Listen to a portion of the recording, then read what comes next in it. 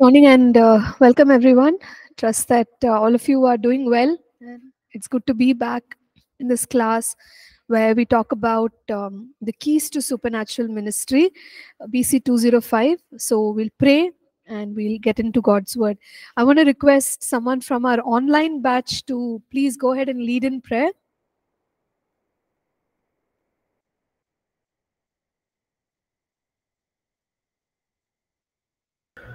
Uh, can you hear me? Yeah, so Sam, uh, Yeah. just give a moment. not able to hear you. Okay.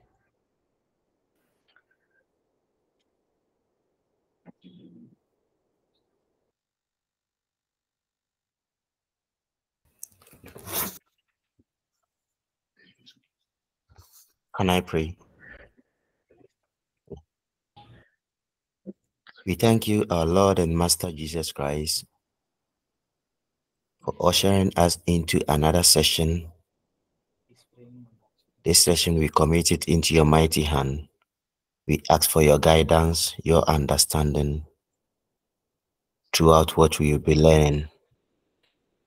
In Jesus' mighty name, Amen.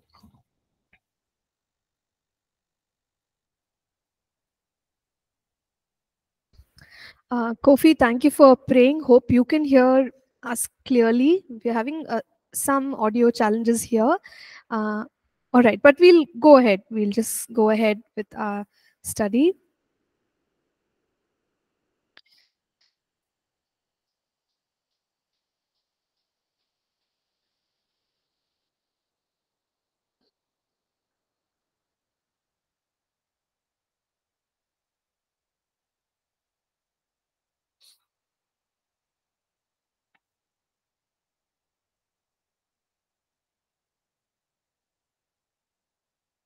Okay, so we can uh, begin.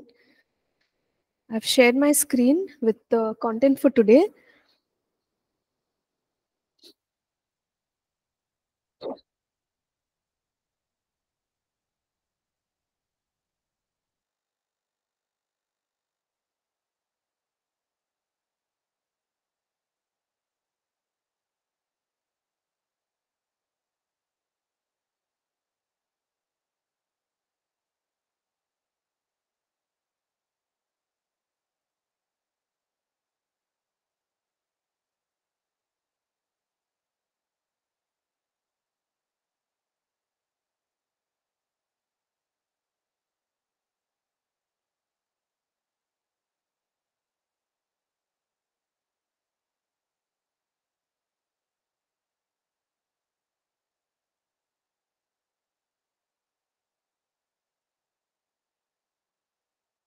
checo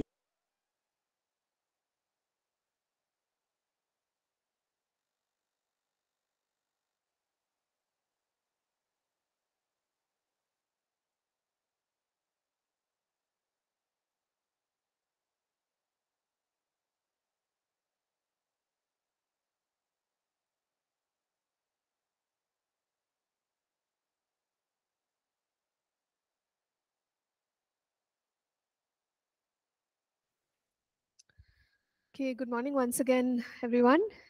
And uh, let's um, move forward with our study of the supernatural here. In the last class, we went through some biblical principles and truth regarding why we give importance to the supernatural. And it was quite evident that Jesus himself gave importance to the supernatural. At the time when John the Baptist was uh, in doubt, he told him, Come and see uh, the works, go and tell uh, John about all the things that I am doing. And it was a list of miracles, supernatural work that Jesus did. Uh, we also saw how, you know, he said in uh, John 10, he said, like, even if you don't believe me, believe the works that I do. John 5, John 10. We see in various places he spoke about looking at the miracles because the miracles gave evidence that he is the Messiah. So, miracles are very important. We cannot talk about the ministry of Jesus without talking about miracles. And we also recognize that it hasn't stopped. Okay, miracles have not stopped.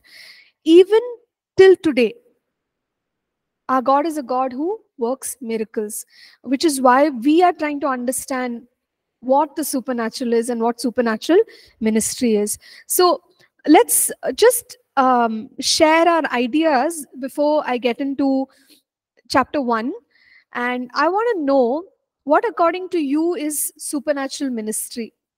Supernatural ministry.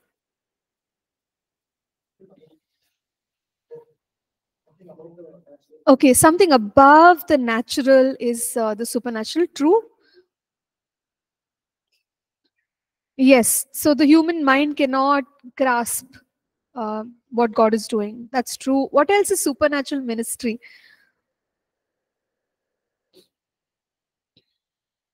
The online batch is free to answer as well.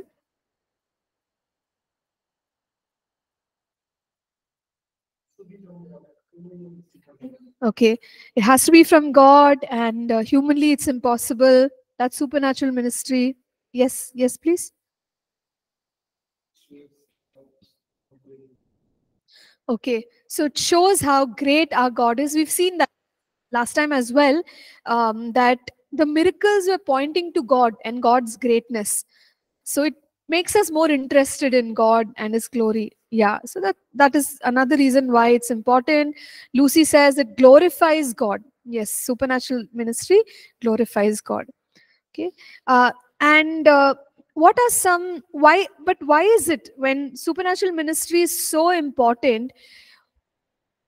Why do people have an objection to supernatural ministry?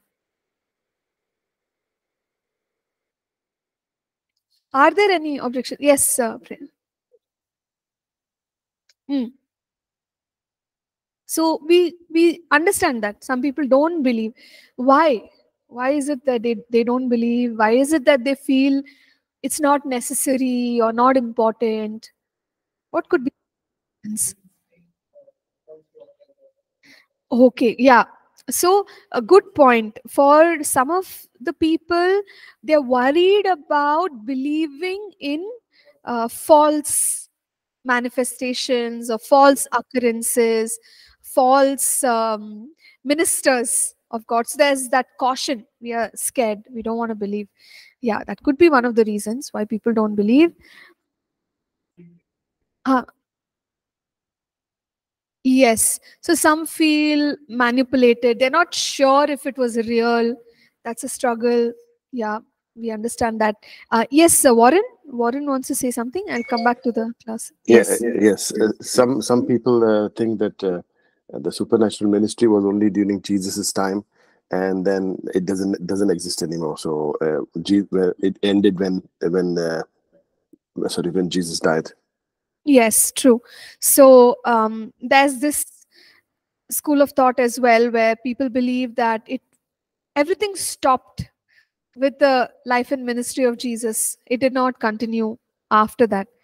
Okay, but we'll we'll see as we are uh, studying about the supernatural that we don't find any um, any instruction in scripture that says the supernatural stopped with Jesus simply because when we look at the book of acts jesus said wait you will be empowered by the holy spirit and you will be my witnesses uh, in jerusalem and the surrounding regions to the ends of the earth.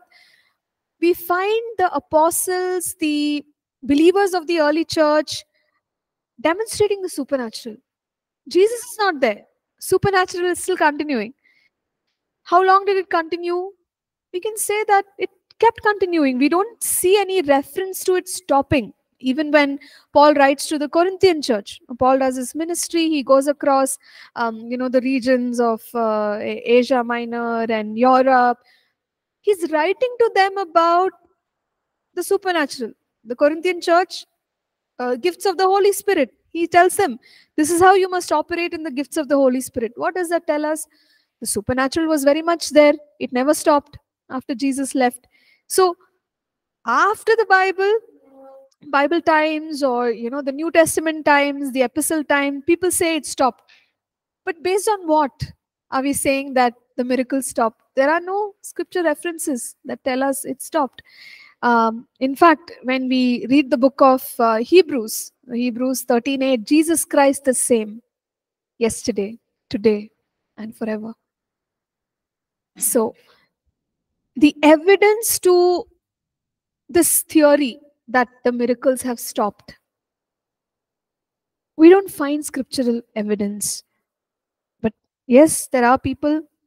I think the uh, the scripture on which people base this theory it's sometimes called as uh, cessationalism meaning miracles have ceased that's the theory cessationalism many people believe in it they base it on a scripture from first corinthians chapter 13 where uh, paul writes when the perfect has come right all these gifts they will cease they will stop existing so when what is perfect has come so, according to a lot of people, that perfect they refer to as scriptures. When the scriptures were put together, the canonization of scripture, they say that is the perfection. It has already come. So, the Bible says all these things will cease to exist, the, the gifts of the Spirit. But I mean, it's a standalone scripture. Like, we don't really have solid evidence to say from scripture that miracles have stopped. Okay, so yes, some people don't believe, they say it stopped with Jesus' times. Thank you, Warren, for sharing uh, and the others as well. What are some other common objections? Why, peop- why is it that people don't believe in the supernatural? hmm Yeah, yeah. Um, so you're saying when when people think of the supernatural there's also the dark realm and witchcraft and you know black magic and other things that people do so uh, we don't want to have anything to do with those things it's scary so then people don't want to think about the supernatural or uh, believe in the supernatural okay because of the bad name that uh, yeah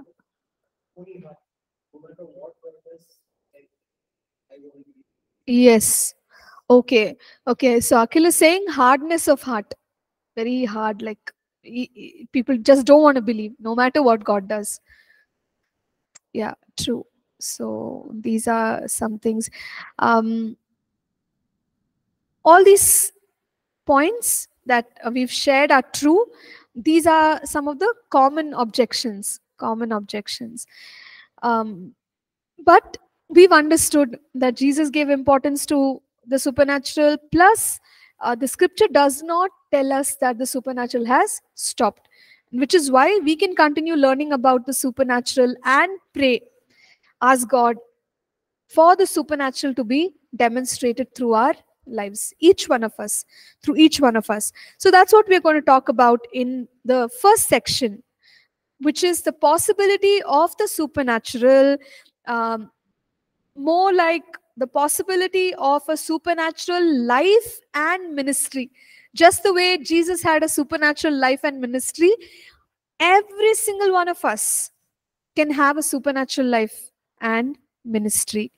We must expect it, we must um, grow in it. So, right at the start, when we look at the ministry of Jesus, we find that he did not limit the supernatural to himself. He empowered his disciples. Let's quickly look at uh, some passages of scripture.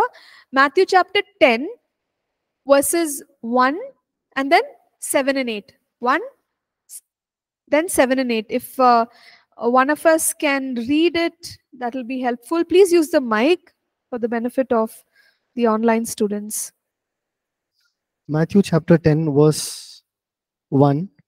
He called his twelve disciples to him and gave them authority to drive out evil spirits and to heal every disease and sickness. 7 and 8. As you go, preach the message the kingdom of heaven is near. Heal the sick, raise the dead, cleanse those who have leprosy, drive out demons. Freely you have received, freely give. Amen. So here are the disciples, the 12 disciples, whom Jesus is sending to do the work of the ministry. What kind of ministry is he expecting from the disciples? Supernatural ministry. Because it was, if it was only about teaching the truth of the kingdom, Jesus would not tell them that I give you authority, you go, you know, drive out demons and cleanse the leper, heal the sick. He wouldn't say things like that. But the expectation is that just the way Jesus moved in supernatural ministry, the disciples also must move in supernatural ministry. Very clear, very clear. And in fact, this is before the Lord Jesus completed the work of redemption on the cross.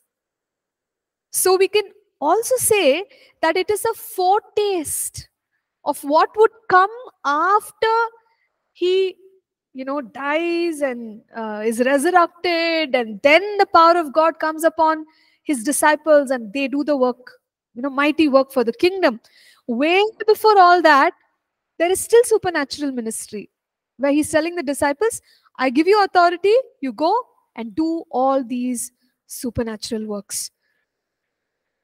So, Jesus wanted his disciples to move in the supernatural. Very clear. Let's look at Luke 10. Luke 10 is another passage where he is asking people to go out, he's commissioning uh, people to go and do the work. Luke chapter 10, verse 1, and then 17 through 19. Luke chapter 10, verse 1. After this, the Lord appointed 72 others and sent them two by two ahead Hmm. of him to every town and place where he was about to go. The 72 returned with joy and said, Lord, even the demons submit to us in your name. Hmm. He replied, I saw Satan fall like lightning from heaven. I Hmm. have given you authority to trample on snakes and scorpions and to ab- overcome all the powers of the enemy. Nothing Hmm. will harm you. Amen. So notice, initially it was the 12 disciples. And Jesus told them, I'm sending you to do ministry, do supernatural ministry. Now in Luke 10, he's sending 70 others. They're not the 12, some other followers of Jesus who obviously they were with him and they were following him at all times. What kind of ministry does he want these people to do? He's sending out the 70 others. uh, and when they come back, so verses uh, 17 through 19. Yeah, we see them return with joy and they say, Lord, even the demons are subject to us in your name. So, what kind of ministry did, did they do? They cast out demons, 70 others. Supernatural ministry. And Jesus is saying, I saw Satan fall like lightning. What does it mean? See, Satan already has fallen from heaven long ago. But when Jesus is saying, I saw Satan fall like lightning, he's saying wonderful ministry. You all did amazing ministry. The devil is defeated. Like that, you've done ministry. How? Demonstrating the power of God, casting out demons, destroying demonic assignments over people's lives. Imagine 70 of them went. We don't know what and all miracles took place. But they are also coming back joyfully and they're saying, God, you know, Jesus, we can't believe it. Demons are subject to your name. By your name, we cast out demons. They're excited. And Jesus is applauding their ministry and saying, Good job. Very, very well done. You've demonstrated the power of God. But then, of course, he goes on later and he says, Don't rejoice, uh, you know, in the results of the ministry. We, we need to place our identity in the fact that we now belong to God. Rejoice that your name is written in the, uh, you know, in, in heaven. So, what is the point? The point is, identity should be in the right place. My identity should not be in the fact that I'm a pastor, I'm a leader, I'm a this, I'm a that, this is my ministry. Why? Yeah, all those things are true, but that's not my foundation. Now, tomorrow, let's say for a season, God calls me to do something else. Nobody knows I'm a pastor there. Nobody knows I'm a teacher there. Nothing. What will happen to my confidence? What will happen to who I am? It should not be affected. I should be rejoicing. I'm a child of God. My name is written in heaven. You know, so I'm happy about that. So that second part of what Jesus was saying was identity must be in me. Don't put your identity in the ministry. It's, you know, shaky ground.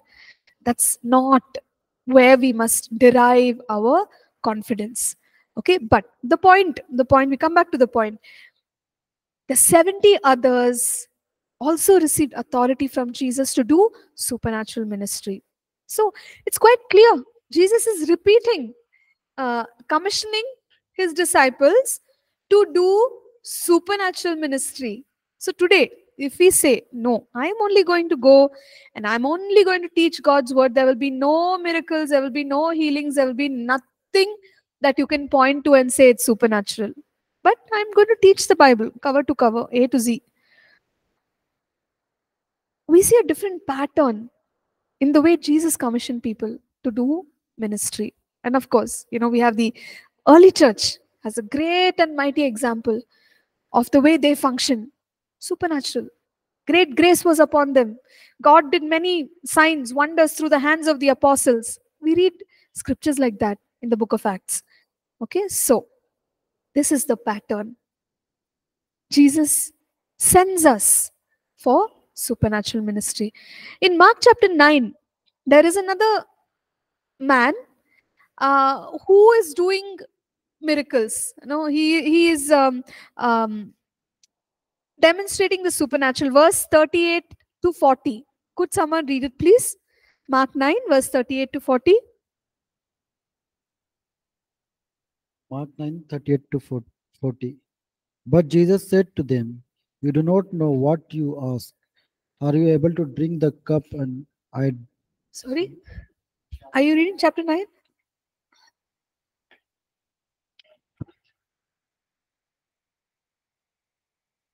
But Jesus said, Do not forbid him.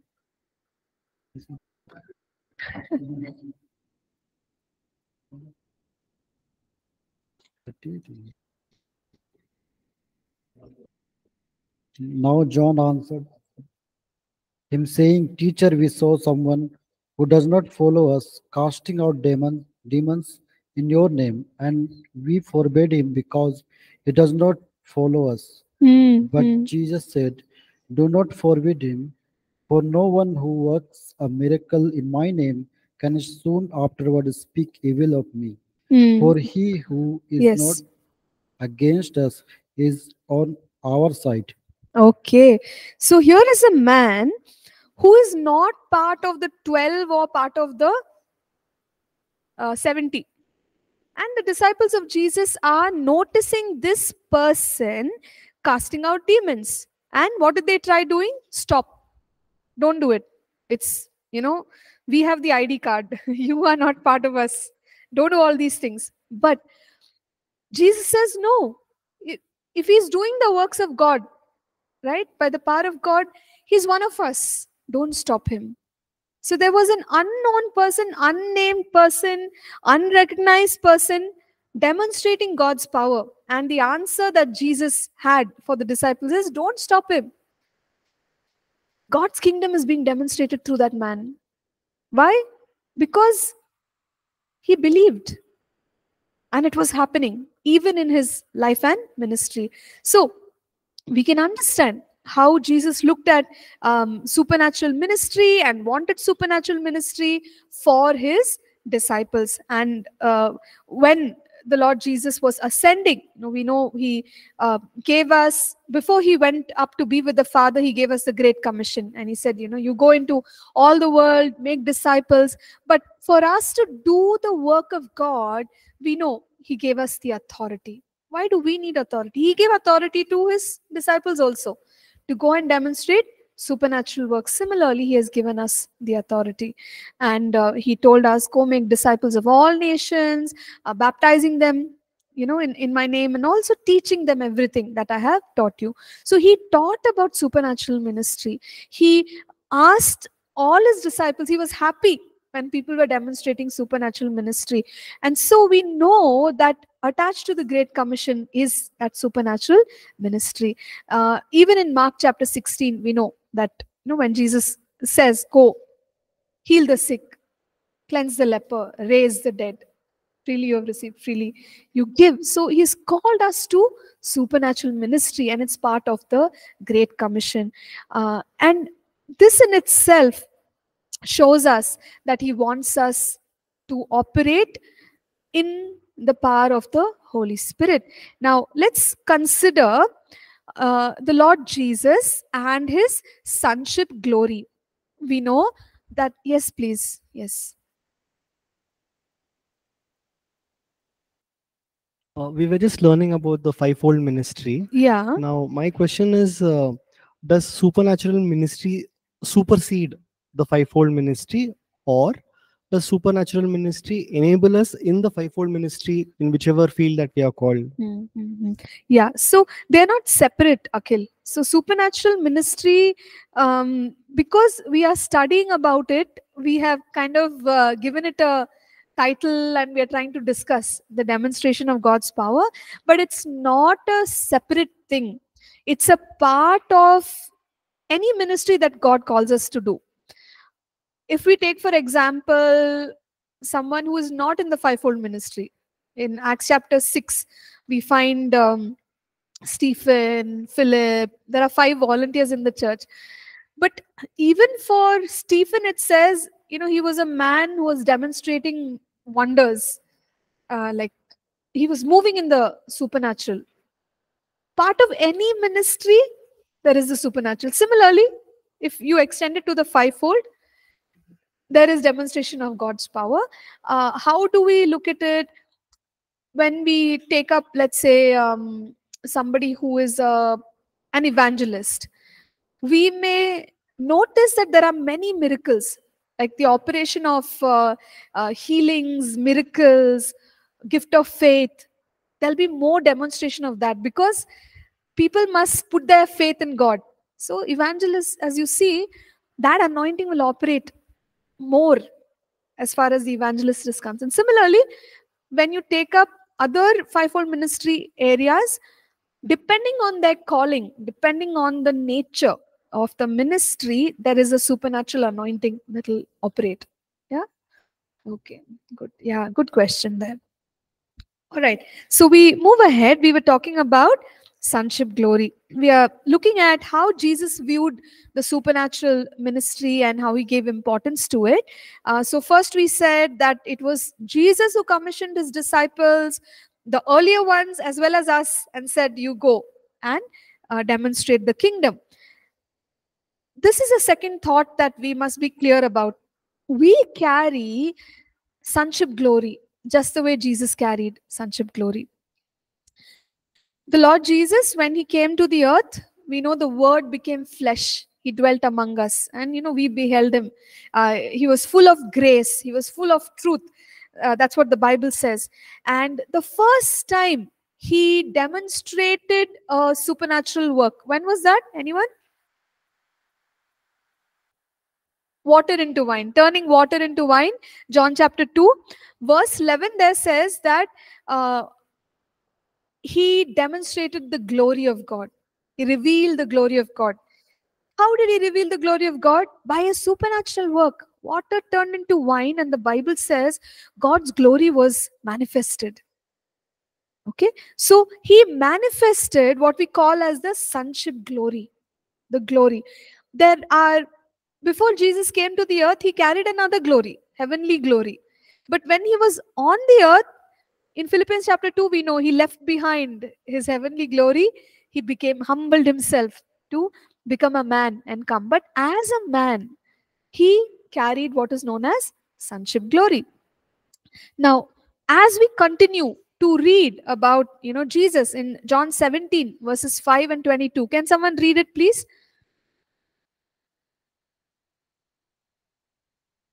John 17 verses 5 and 22. 5 and 2. 5 2? John 17, 5 and 22. 22. John chapter 17, verse 5. And now, Father, glorify me in your presence with the glory I had with you before the world began. Verse 22. I have given them the glory that you gave me, that they may be one as we are one. Hmm. So, do you see there? Just before he is going to go to the Father, he says, Once again, Father, you glorify me with that heavenly glory. So, I'm going back. I'll take that glory again. But the glory which God gave Jesus on the earth, I am giving the glory to them. That sonship glory is what he gave you and me. So that we can be the children of God, we can walk together, we can also demonstrate the power of God through our lives. So the second second reason why we must demonstrate the supernatural is because we have received sonship glory. Jesus manifested that sonship glory, and very clearly the Bible says that He gave it to us. Father, I've given it to them. You and I, we carry sonship glory, okay, as believers. So that is something that we can operate in, um, and we we see that just the way Jesus was on the earth, we are supposed to be like that. That's what we are called to. Apostle John writes about this uh, in First John and we are supposed to operate just the way Jesus operated. So, in his sonship glory, if he operated by demonstrating God's power, every believer, every child of God should be working like that. As he was, so we are in this world. As he was, so we are in this world. Even though Jesus is not here, all those who believe in Jesus, we must be walking the way Jesus walked, receiving of the sonship glory demonstrating of the power of God, not just the power of God, even the virtues of God. Now we read in Second Peter 1 3 that uh, uh, we can partake of the divine nature of God. So, in his character, in the way that Christ was, in every aspect, you and I can operate in the same way. He's made a provision for that. Now, if we ask, like, how can that be? Uh, will it happen? What about me? If you're a believer, you have the sonship glory. You are called to operate in the power of God, manifest the glory of God through miracles. Jesus manifested the glory through what? A miracle. Okay. And along with that, even in the character of God, share in the divine nature of God, the virtues of God. All this is possible, and that's what Jesus has called us to. Jesus asked us to go and do the work of the Great Commission. Jesus gave us sonship glory. Now, look at this. We also have the power of the Holy Spirit. We have the power of the Holy Spirit. How did Jesus do his miracles? Through the Holy Spirit, isn't it? The power of God was present, we read in many places. The Holy Spirit was operating through the ministry of Jesus. And he told us, I am going to the Father, but you shall do greater works than these. Why? Because the Holy Spirit is coming. He's the one who's going to empower us. So we have the empowerment, empowering of the Holy Spirit to demonstrate the supernatural. Uh, and more so, especially once we are baptized in the Holy Spirit. Right? That's what Jesus said, and you shall receive power when the Holy Spirit has come upon you, and you shall be my witnesses in Jerusalem, Judea, Samaria, and to the ends of the earth. So, when Jesus could demonstrate the supernatural through the Holy Spirit, we see uh, many examples, like in uh, Luke 4, the passage of Luke 4, verse 18, when he goes to the synagogue, um, he says, The Spirit of the Lord is upon me. And then he goes on to state, so that you know i can i can do this ministry uh, heal the brokenhearted and set the captives free preach the gospel how how to do all these things the Spirit of the Lord is upon me, meaning I carry the anointing. Anointing is what? The power and the presence of the Holy Spirit. Through the power and the presence of the Holy Spirit, I'm going to do this ministry. That's what Jesus was saying in Luke 4, verses 18 and 19. And then again, Acts 10:38, we read Jesus of Nazareth, anointed. He was anointed by God. He was anointed by God. And he went about doing good, healing all those who were oppressed of the devil. How did he heal those people? Anointed by God. Anointed. What is anointed? Power and the presence of the Holy Spirit. It was operating in the life of Jesus. Once he cast out demons, and people were looking at him like, How did he do this? How did he cast out the demons? And we see in Mark 12, verse 28, he tells them, I did this by the Spirit of God.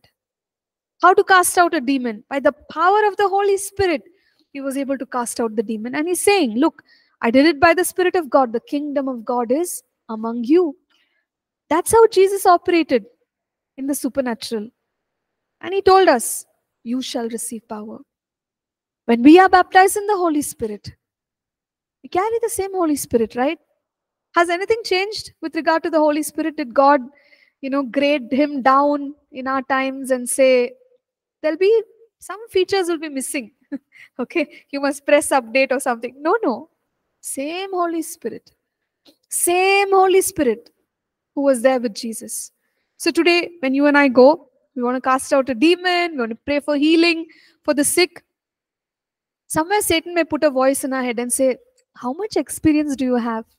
You don't have any experience. Do you think this person will be set free? Do you think this person will be healed? You can just stop that voice, rebuke that voice in the name of Jesus and say, Holy Spirit has experience Right? from before creation. He has experience revealing his power. Same Holy Spirit. When Jesus was ministering, same Holy Spirit, all these miracles that we read here, he has witnessed it, he has done it. So I'm not worried. Satan, I rebuke you in the name of Jesus. I'm empowered by the Holy Spirit, and I shall be a witness to the power of God, to the glory of God. How many believers can do this? Two? How many believers can do this by the power Every- of the Holy Spirit? Everybody. Everybody, everybody. That's that's great. That's wonderful. All of us can demonstrate because we have the same Holy Spirit. Nothing has changed as far as His power and glory is concerned. So amazing, amazing. The supernatural is for everyone. It's for everyone and all believers. Yes, yes, Akil. Uh, uh, sometimes we uh, always say like you know we want more of the holy spirit we want to be Yes, filled with the holy spirit so what is that in reference to Okay, so we want more of the Holy Spirit. We want to be filled with the Holy Spirit. So, uh, um, I even I didn't understand this for a long time, but then you know I heard this explanation and it made sense to me. See, when you and I come into the room, once we've come, we've come. We won't say that, oh, Nancy has come, she's still coming, because there'll be more of me left outside. So there's no need for extra, you know, Nancy to come inside the room because we are limited as people. But when we talk about the Holy Spirit, He's God. He's God. And He's immeasurable. He's immeasurable. So, though He comes, we can keep saying, I want more of you, and He can keep coming. It's a little hard to grasp it like that. But in other words, He's not limited. He is, you know, I, I don't know what the word is, but uh, incredibly large or enormous. So when we say he is come and we want more of him, we want him to come, uh, you know, again and fill us, it can happen because God can't be measured like that. He's not limited. So that's how it works, right? Yeah, how much we desire and how much we pull on the presence of God in our lives. Yeah. There's a lot that is available. Uh, When you when we look at some of the mighty men and women of God, no, it's uh, so interesting what they say. People say things. Uh, some of their quotes. It says, Like even Smith Wigglesworth, he saw, uh, if I'm not wrong, 11 uh, resurrections in his l- life and ministry. But he also said something like, you know, God is still not done enough, meaning God can do more when people believe more. He I, I was thinking like, oh, Smith, come on, you're one of the best uh, ministers we can look to as far as the demonstration of God's power is concerned. But why are you saying that one can believe more? Like people have not gone further. Their their belief has limited them. There's so much more that one can believe and move into as long as they have faith for those things. So that means there is so much more. There is so much more that we have not even encountered. And some of us, afternoon batch, uh, residential batch, you were here when we did um, um, ministers of God, God generals, and we were talking about different people. We were talking about, you know, the manifestations of miracles. We also saw that video, right? Like one uh, person who's on the bed, bedridden, and this man commands and he just jumps up. Like literally, he's been bedridden for months and years. Uh, but he recovered like that but even those who have experienced such miracles say there is so much more. If we believe, there is so much more of the power of God. So the Holy Spirit is not limited, His power is not limited. It's all about us pressing in by faith, and we'll see there are other keys also that we can consider. So, yeah. So, we've looked at the empowering of the Holy Spirit, and then, of course, we have been given authority. Thank God, you know, Jesus asked us to do the work of the Great Commission not without authority. When he sent the people out, the disciples, even at that time we read, he gave them authority to cast out demons. He's given us the keys of the kingdom. Said, I give you the keys of the kingdom. What is the key? It's the authority. So here's the next point every believer carries authority whether we are using it or not that's a different question you know we can have authority but we can keep it in the cupboard and lock it and wonder why why nothing is happening why we are not using our authority. But authority has been given to every believer. I give you the keys of the kingdom. All authority heaven and earth is mine. The great commission. Now you go. You make disciples of all nations. Right? So authority has been given to us. So here is another reason why you and i can flow in the supernatural okay so uh, we've seen through these four specific things that one is jesus gave us the invitation to supernatural ministry he has given us the sonship glory empowered us by the holy spirit and vested authority upon us that you and I can operate in the supernatural. So we'll talk more. You know, we'll keep uh, getting more out of this. Uh, and uh, yeah, but for today, I think we'll just wrap up. If you have a question, please let us know. If not, we'll go ahead and pray before we close our class.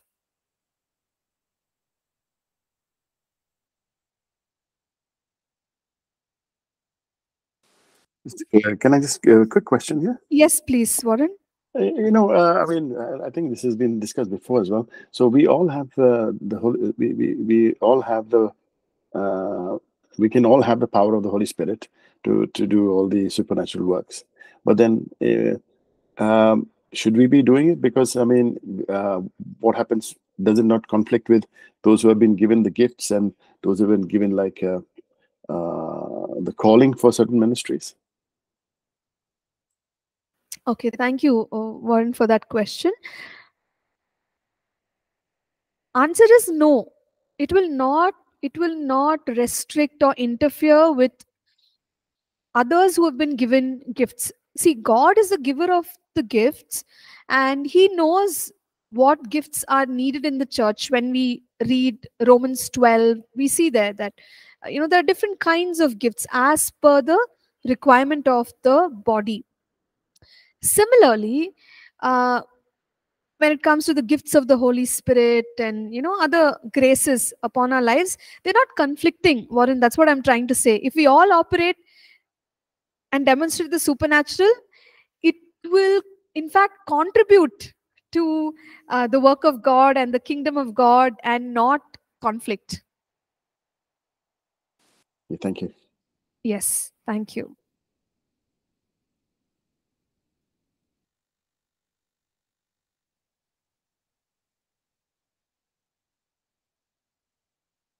I was hoping you all will ask me this question, but uh, since you didn't, I'm only going to say. Uh, so, what? How about like if God has called us for the supernatural, why don't we see more of the supernatural through our lives? Correct, correct. We're limiting ourselves. That's where we are not seeing a demonstration. Yeah, we are not standing in that authority. We're not taking that authority. We're not inviting the Holy Spirit to to come and work. So, in all these ways, we are, if you want to put call it stopping. Yeah, it's available, just that we are not tapping into it. So that's the reason. But hopefully, now that we are studying about supernatural ministry, let's grow in it. Yeah.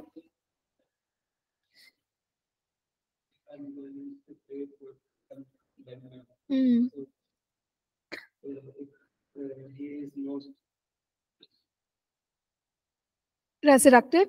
Mm. So uh, it